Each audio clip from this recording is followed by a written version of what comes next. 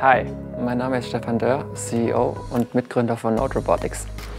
Unser Ziel bei Node ist es, mobile Roboter nicht nur für Großkonzerne, sondern für alle Unternehmen zugänglich zu machen. Dazu setzen wir auf innovative Softwarelösungen, um die Einsetzbarkeit der Roboter zu erleichtern. Konkret entwickeln wir mit NodeOS eine Autonomieplattform für mobile Roboter, mit welcher unsere Kunden verschiedene Roboteranwendungen entwickeln. NodeOS liefert hierfür die Grundbausteine und eine offene Entwicklungsumgebung.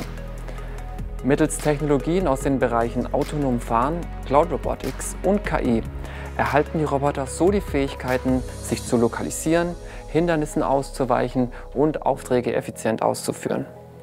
Wir ermöglichen hierzu nicht nur die Autonomie einzelner Roboter, sondern auch ganzer Roboterflotten. Dabei sehen wir KI zwar nicht als Selbstzweck, sondern wir investieren sehr zielgerichtet in KI-Entwicklungen, welche direkt ein Kundenproblem lösen.